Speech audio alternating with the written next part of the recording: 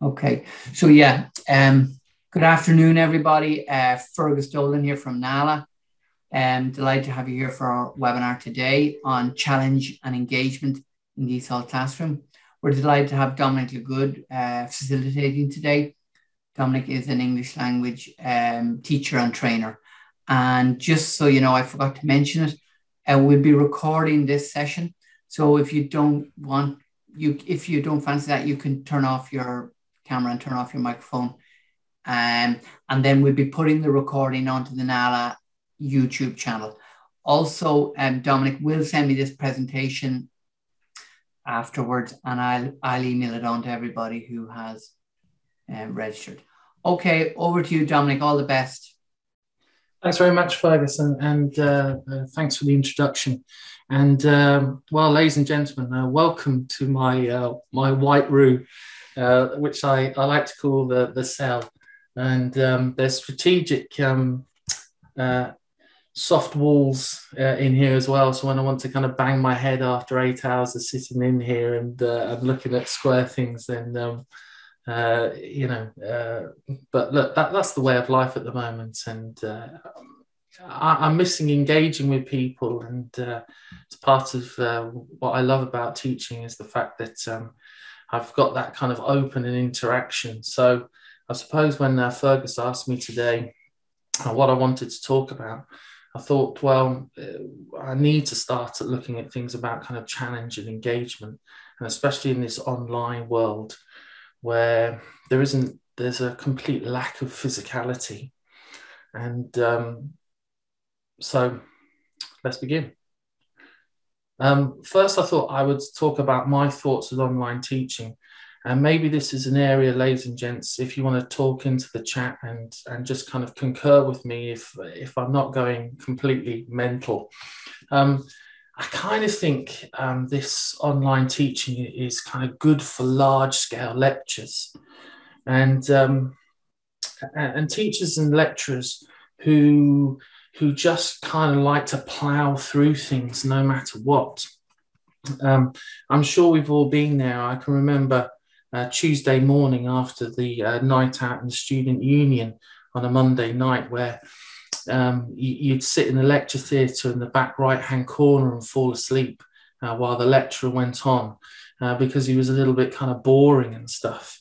And so th- this is a great you know, online teaching is, is great for that type of person who just wants to kind of plow through. But for, for me as a teacher who likes to kind of deal with interaction and feedback from people in a kind of a, a physical manner and can see feedback through what people say, then um, I suppose I find this is a real kind of issue and uh, what online teaching is doing for us.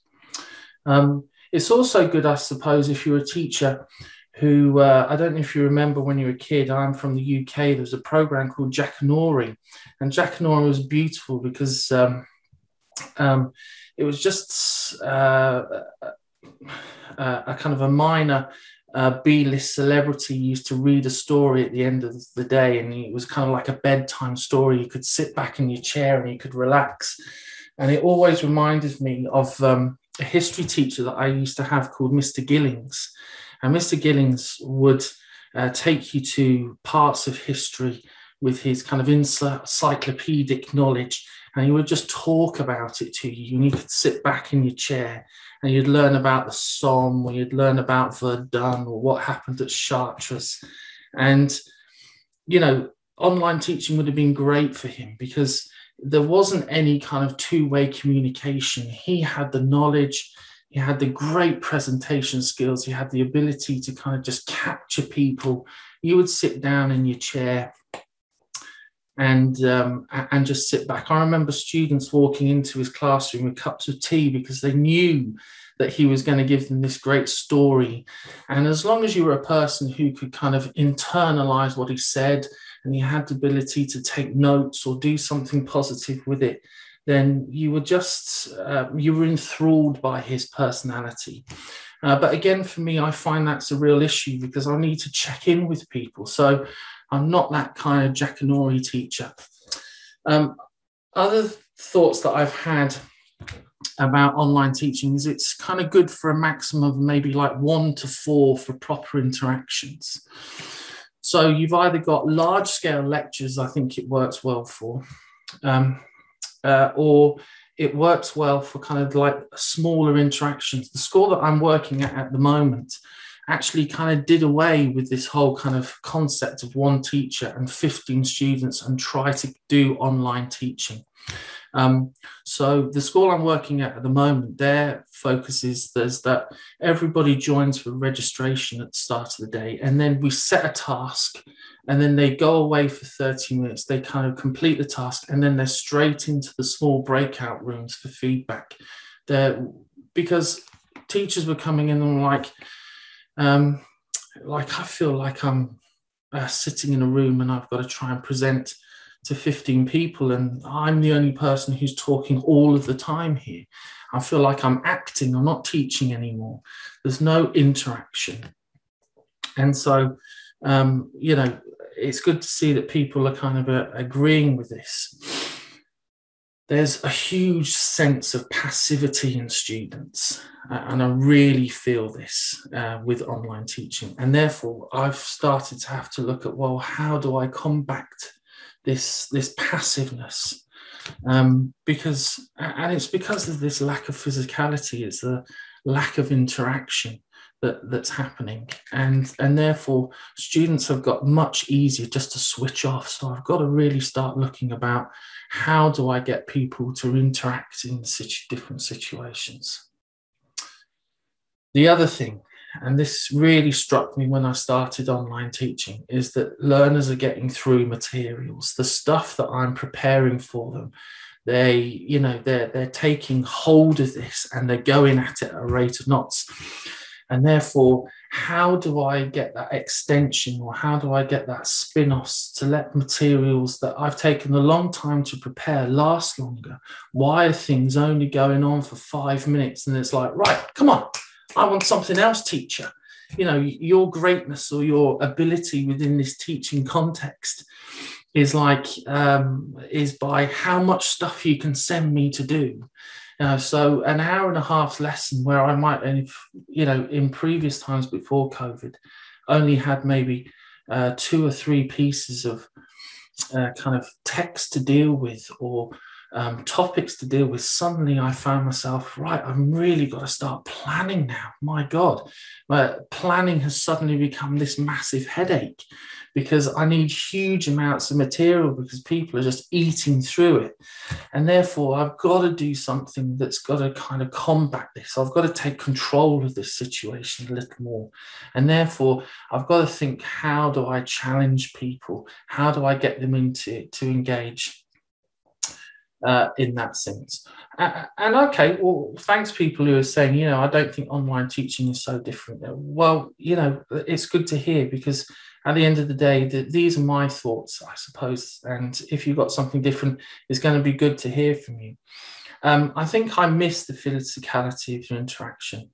And, and in some ways, that physical ability to praise easily you know um, i think praise is a really important part of our lesson and, and the way the teacher presents themselves. So how do we how do we do that? I find now back in the classroom we're using a lot of strategies online. Yeah and that's good to see. Maybe we can start learning things. And uh, so i'm just looking at what people are putting up in the chat here. Uh, things in yeah, it's so hard to time things whether activities too much. Yeah, absolutely. Timing is is, is I think a real issue. How much you're going to do. Um, uh, the other thing that I I studied quite a lot when uh, through English language and through secondary education, there was a big focus on formative assessment. You know, when are students ready to move on? When do you know that they've got it? And I suppose when I was in um, uh, when I was in the classroom, you know, there, were these kind of subtle hints that you can have from people. Um, you know, the heads are down, so they're like really engaged in something. The hand goes up to get more information or the ability to reflect on it easily. And therefore, sometimes in the online classroom, I feel like I'm I've kind of lost control of that ability to be able to see whether students are kind of being able to they've formed enough knowledge in something to be able to progress and move on with it to the next stage. So these are my thoughts, and therefore, where we're going to move on to now is kind of, well, how do I tackle that? And how do I bring a little bit more control? How do I get more interaction? How do I get more challenge? How do I get more uh, engagement from our students? I think the first thing to note is let's just talk about the brain a bit and let's talk about how challenge comes from. And there's this part of your brain, and the picture really kind of summarizes it. It's right in the middle of the brain, and it's called the reticular activating system. So, if you have a think about it in your day to day life, all the things that you smell, all the things that you see, all the things that you hear, all the things that you touch, if you if your brain thought everything was important every single sound speech smell taste touch was important you your brain would fry. And therefore there's this really important part of your brain that basically switches your consciousness off because otherwise it would just be complete overload. So when i go back to I was listening to a lecture the other day with Erasmus Plus, and the stuff that they were saying was really important. And I knew I needed to get to grips with it, but there was something in my brain that was telling me, like, I feel a bit tired, I feel a bit hungry. I'm actually just going to switch off now. And I'm just going to become passive in this situation. And it's just going to kind of go over my head. And I know that these things are happening, and this part of my brain is kicking in because I start to scribble on a page and I start drawing little mimics or little diagrams. I think I actually draw a, a, nice 3D plane instead of listening to what this guy was saying about how to fill these forms in. And that's because this part of my brain is kicking in and it's stopping me. It's saying this is just background noise, ladies and gents. And therefore, this is where this kind of passiveness starts to kick in because there's lack of this interaction, lack of physicality means that this reticular activating system starts saying, well, ah, look, this might be really interesting, but look, guys, it's time to think about lunch rather than thinking about uh, what I need to be doing uh, with the present perfect tense.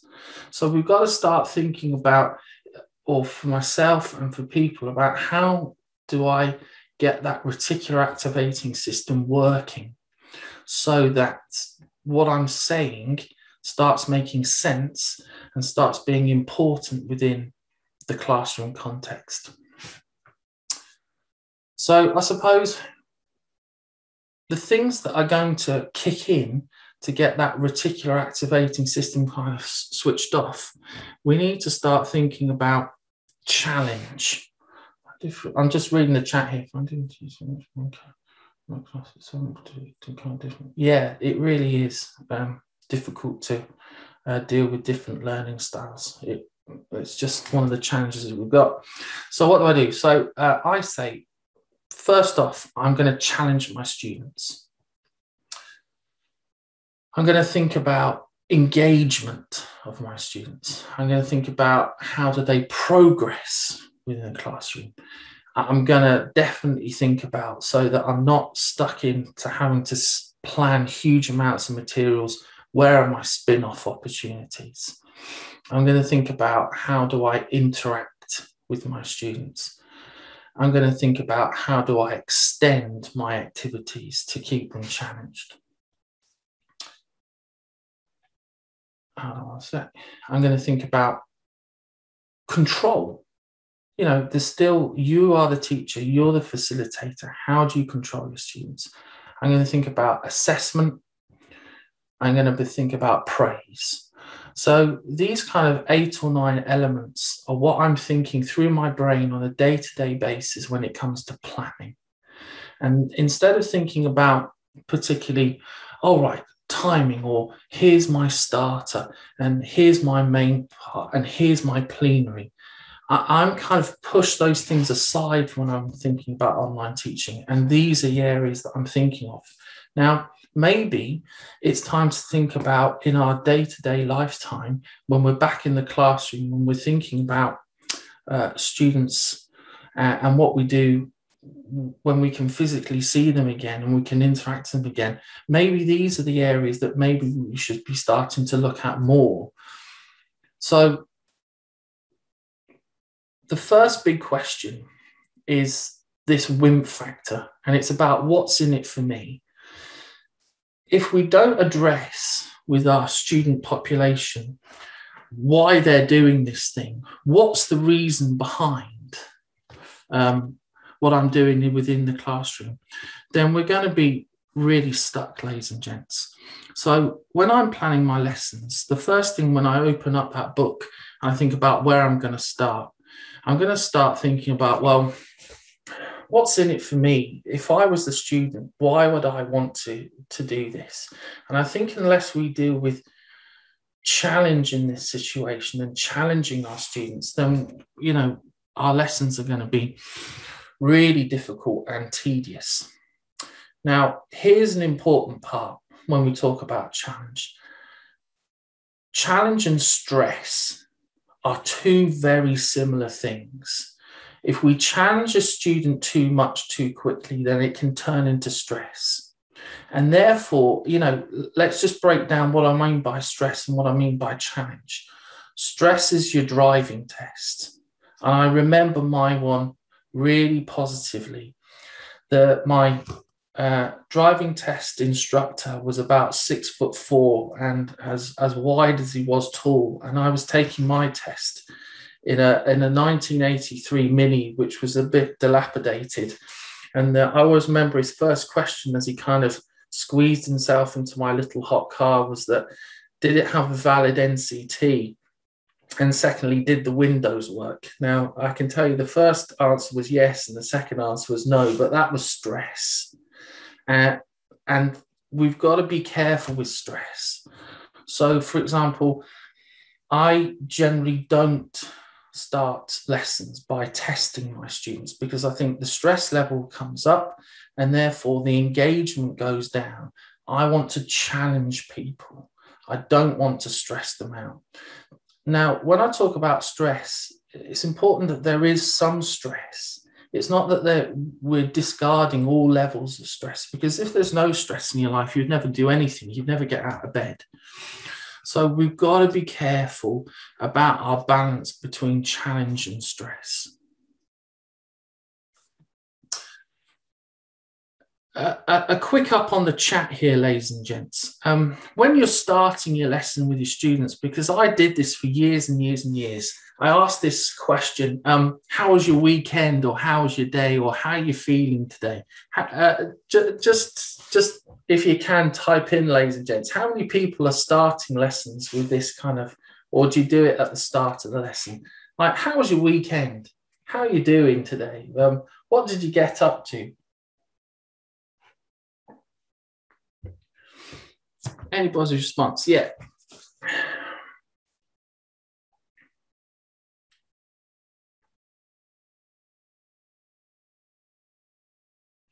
Yeah. I just want to ask, and I kind of ask myself this stupid question why am I doing this? Why am I asking this? Like, am I really challenging somebody in my lesson to get going at it by asking this question. I'm not saying it's not important because we do want to build rapport with our students and we do want to feel like we're included in their life and we do want to help them out if they've got problems. And this isn't just about online teaching. This is when I'm in the classroom. I remember when I first started teaching, I was 24 years old. I always asked this question, you know, what did you get up today? How was your night last night?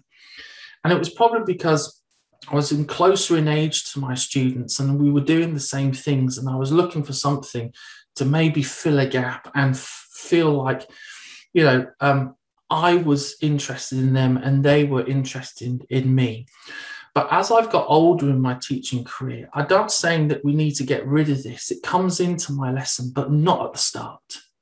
I want to get my students working on something. I want to get them engaged into my lesson. I want to make sure that that reticular activating system isn't kicking in and it kind of just going over my head. Uh, so this is something that I want, I don't want to start with. It comes into my lessons somewhere, but I want to start them with something that challenges them. And what I say, well, let's use our online resources to our, our benefit in the fact that students are sitting at home and they've got more things around them that they can visualize or they can listen to or they can touch and they can smell. So I always like the simplest one is to start with a visual. So, for example, here's a nice visual. What can you see?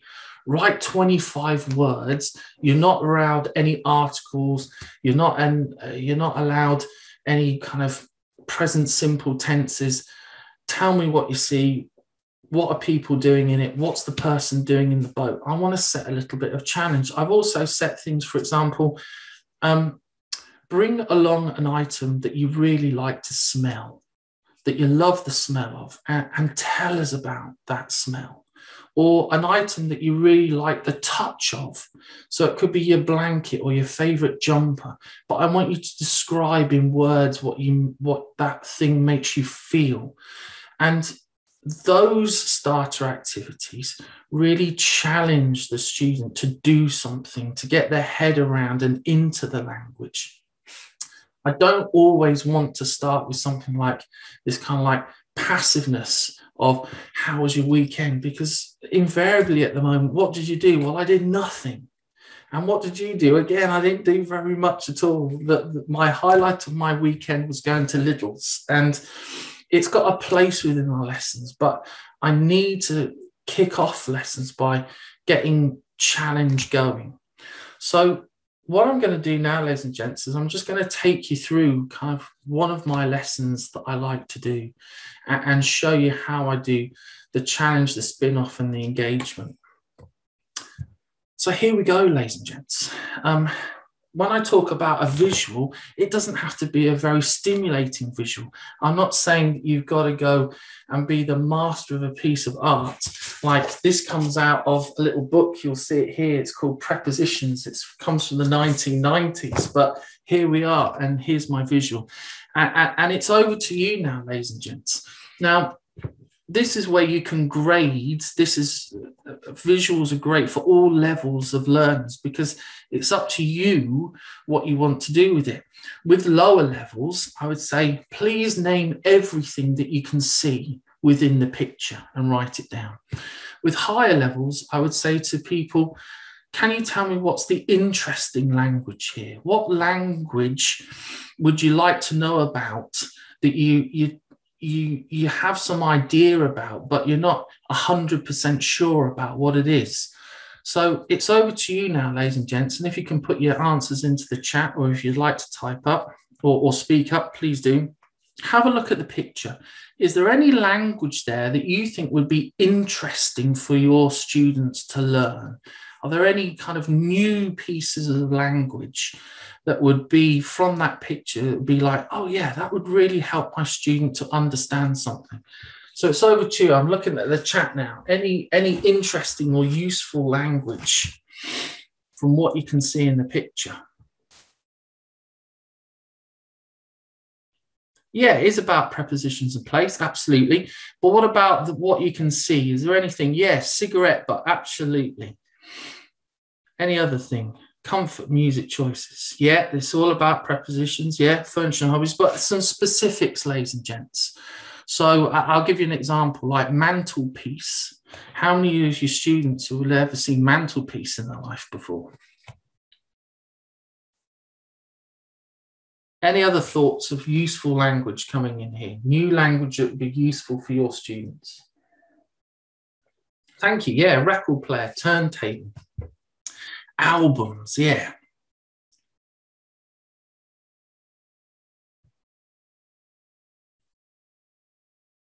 Yeah, fishbowl. Yeah. What happens next? Absolutely. Cat and discussions on pets. Yeah. Cigarette smokes, fumes, semi intangibles. Lovely language here, ladies and gents. Thanks very much. Yeah, so if we just move on from the picture now, now use, you know, remember this, ladies and gents, use technology to your benefit. Like in the classroom where they would have all had a printed picture of this this thing and if you told them to turn it over some of them would be peeking at it or some of them wouldn't turn it over they wouldn't follow instructions with IT, you've got this lovely ability to control this, haven't you? So if you said, right, I want you to look at this picture for 30 seconds and then uh, describe to me what you see or write down what you see, you're in full control of this because it's online. So use the technology uh, to your benefit.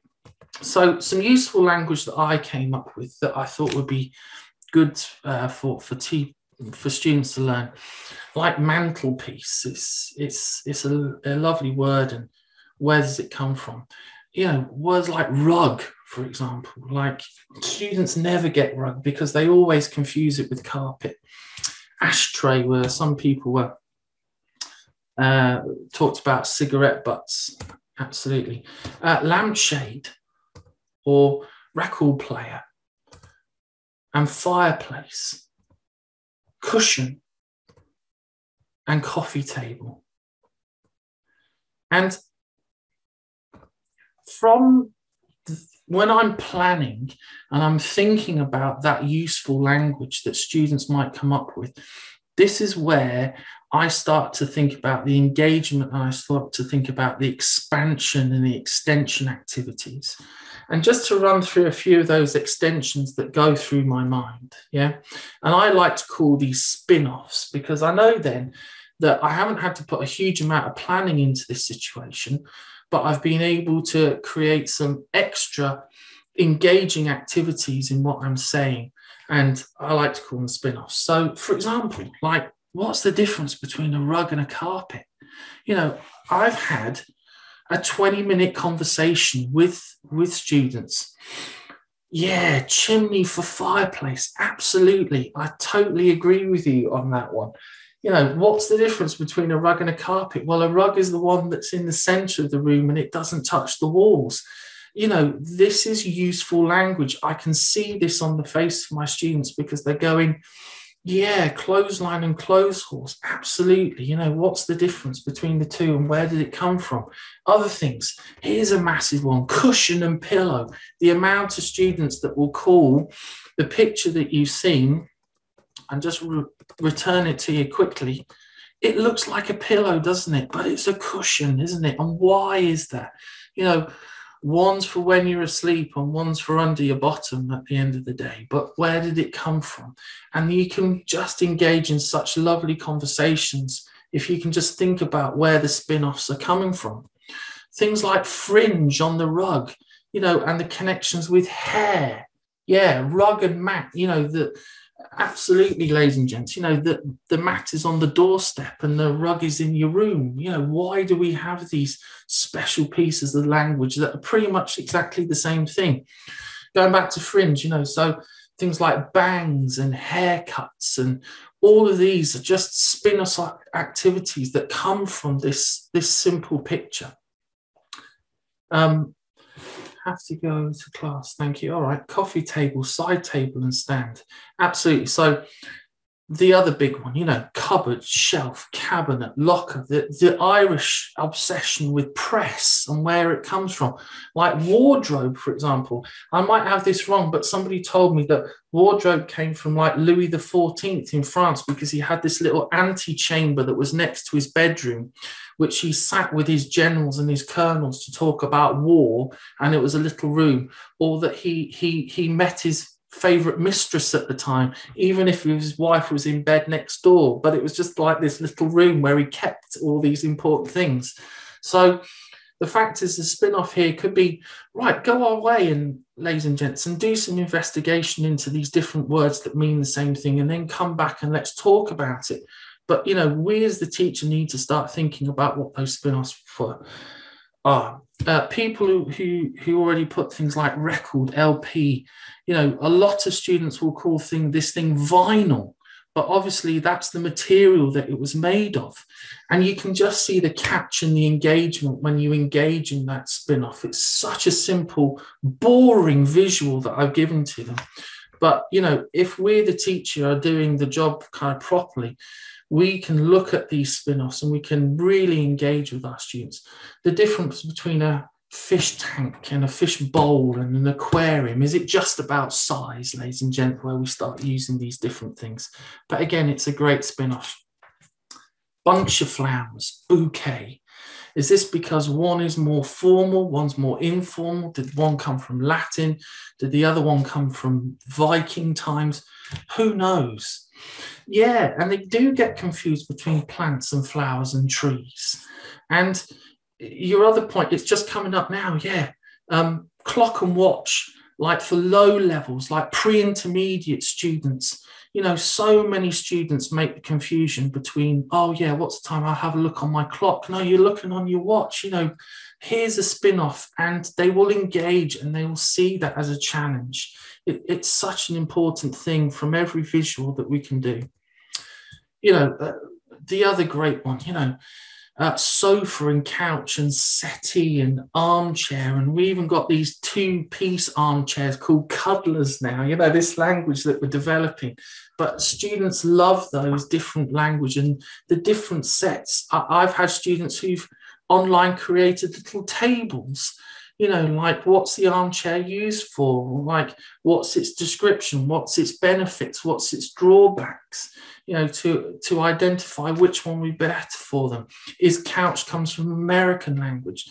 It's these interactions which I'm talking about. Um, different types made of di- yeah bowls made of different types of different materials and different colors and different you know bring a bowl into the classroom why don't you and describe it to your students what I'm saying is, is what you're planning and what you're doing, there's a huge amount of elements. You just got to kind of think about where you want to go to. The, the classic one, why is it called a coffee table? Like, can, can anybody, would you like to post into the chat about why it's called a coffee table? Because I don't know why. Why isn't it a tea table? Why isn't it a beer table? Why is it not a Pepsi Max table? Why is it a coffee table, ladies and gents? You know, again, this is just a lovely spin off from that original little visual that I've given them, that boring visual that will allow students to engage and challenge them. You're constantly challenging them to come up with ideas and thoughts to get that feedback to you. And I think it's so important. The, the other thing, ladies and gents, and as we all know, is that this uh, activity is to do with prepositions, isn't it? It's prepositions of place. And um, so I've got a 10 year old son, and this keeps him activated because um, I get him to build me some little models to do it in my classrooms. And here's our prepositions of place model today. Uh, as you can see, I, I, was really pleased with him with this one because I thought this one's going to take him hours to create. Yeah, five minutes later, he came back with this bloody great looking thing. Look at it.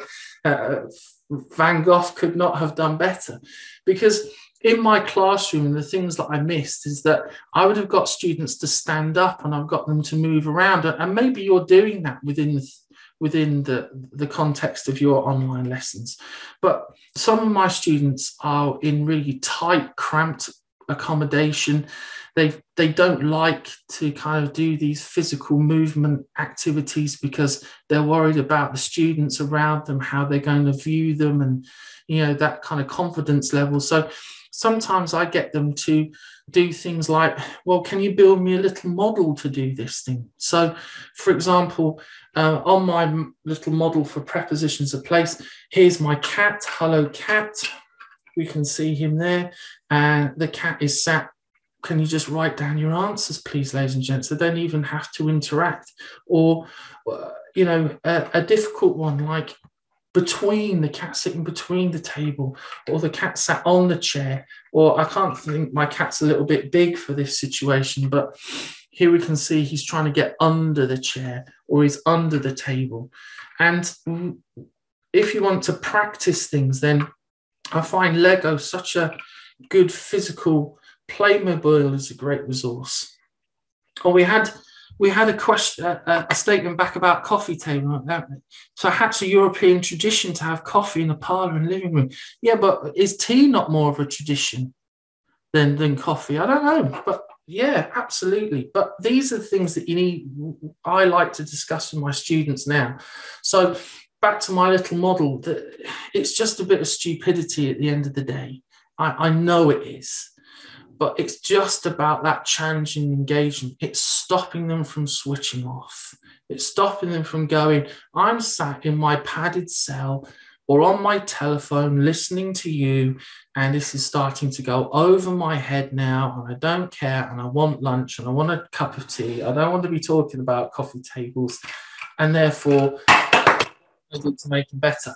So Lego, it, it's a great thing to do with um, to do with online students, and you know build something. There's always going to be something that they can represent in the classroom. You know, um, find something that represents this feeling.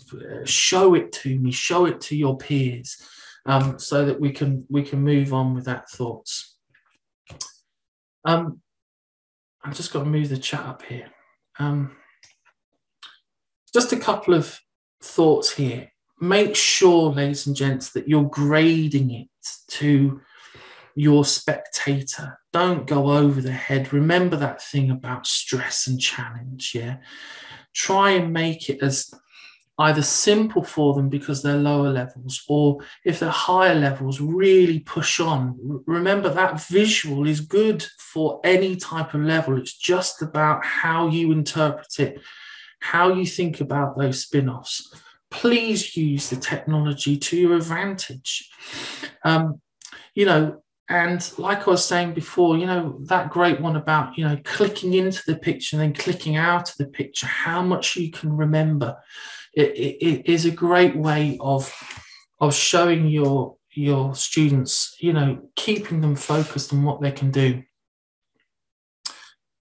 And yeah, you're quite right. It's about hooking students. It's about once you've got that hook and you've got them engaged, then you can really take them much further. And this isn't just about online teaching. Uh, these are kind of ideas that I've had that I've used within the classroom as well. So when you get back into the classroom, don't just think that all of this stuff has to go out the window. I like where people have said, you know, what I've learned from doing things online, I'm now using within a classroom focus. Yeah, you know, this is how we how we learn as teachers to teach better at the end of the day. Um, you know, and here we are back at our our boring picture and i can truly say from what i've seen in the chat that we've been able maybe to engage more in this than we kind of first saw when we saw my boring picture of this you know of of this room and you know moving on ladies and gents you know let's be clear about it. I do want my students to, you know, it's not just about spin offs and engagement and doing extra things and having these lovely conversations. I do actually want them to actually complete the task. And, and and here is the task. So, in terms of my planning, it was one page out of a book, wasn't it, ladies and gents? And, but how do I get them to complete that task? Am I just going to give them this? Piece of information out and tell them to fill in the blanks and we'll just go away and check it. Maybe that is so because we've done so much talking and interaction that this is a nice settling activity now, ladies and gents. And therefore, I'm just going to give it as it is. Or maybe I'm just going to crop it and I'm going to give them a prepositions and I'm going to say to them, well, can you come up with sentences now, ladies and gents, and, and check against the, the originals? Or am I actually just going to go back to the picture itself? Here's the picture and just say, right, this is all about prepositions of place. We've done our practice using our lovely cat and Lego construction that my son Matthew made. Can you write the sentences now? That are connected to this rather than me giving you the activity. Again, how do I get my students to engage fully in what I want them to do? It's really important, ladies and gents. Um, further extension, and another part from this is once I've undertaken that task, then I want to look for that kind of freer practice. And, and this is where your breakout rooms start to come in. Um, can you describe your room? Um, can people draw? You know, it's not the fact that because we're using IT, like we've got to give up on the fact that the pencil and the piece of paper is a really important element within our classroom environment because it still is a really important thing to do. Can you draw or, or see what you hear? Can you swap that with your person? Um, and when we come back into a classroom setting where maybe 15 or 20 students are there, you know, let's get feedback from maybe two or three people. Like hearing the same thing from 15 to 20 people um, is, you know, a really, really kind of boring and maybe lethargic thing to do. And, and therefore, let's not do it.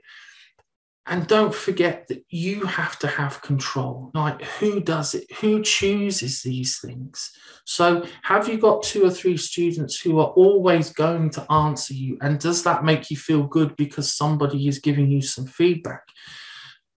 Or do you think, well, what happens to the other 13 that are in the classroom You don't want to say much?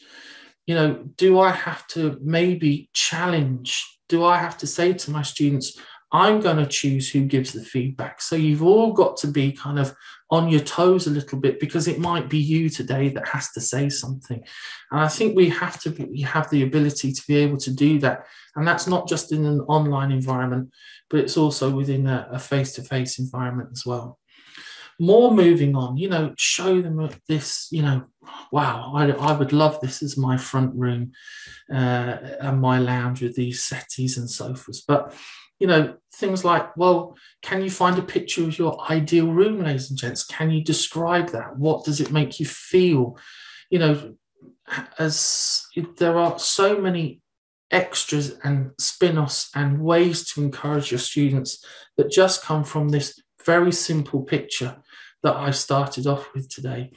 And at the end of the day, in terms of planning, this took me it's one side out of a book and and a couple of internet images. But if we think about it creatively enough and that's what's important at the moment i think we can really make some impact and engagement within our students.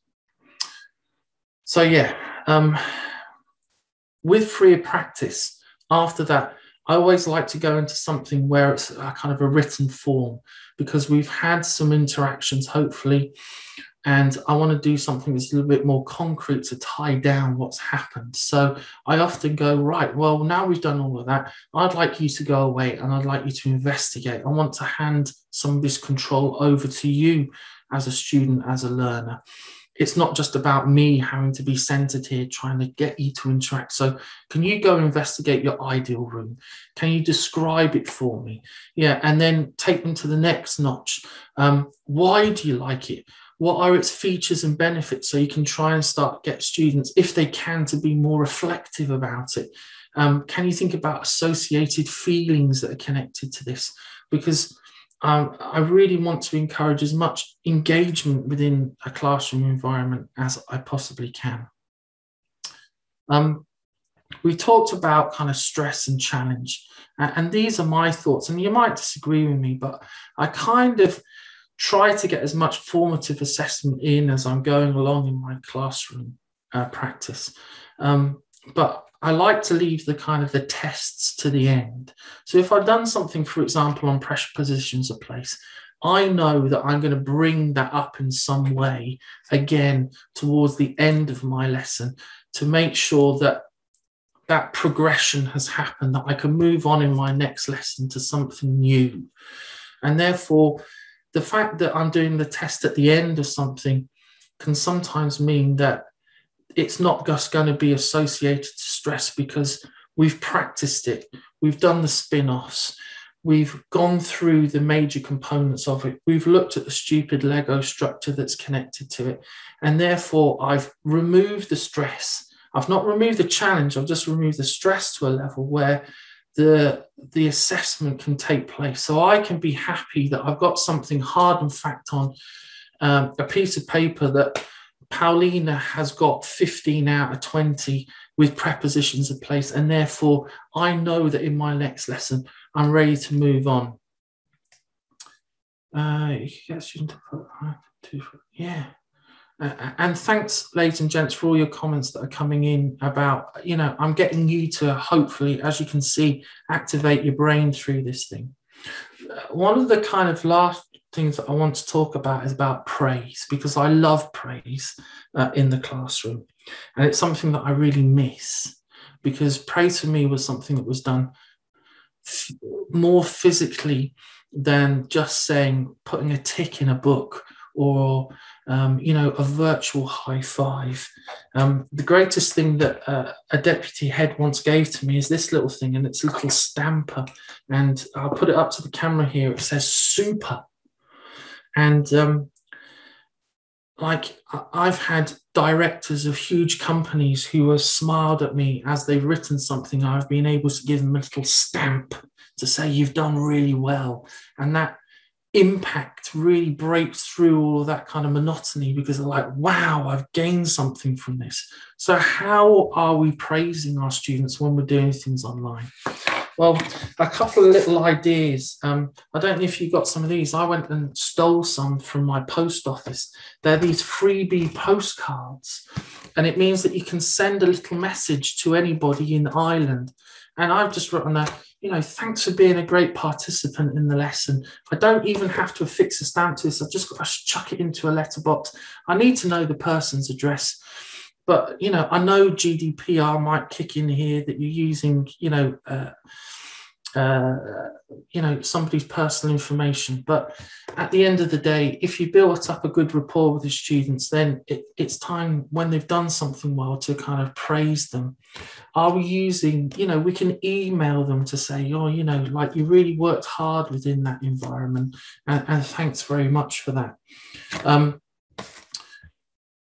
praise for me you know, a good friend of mine uh, did her masters on uh, how to improve uh, uh GCSE, which is like um, junior certificate art students, by giving them treats.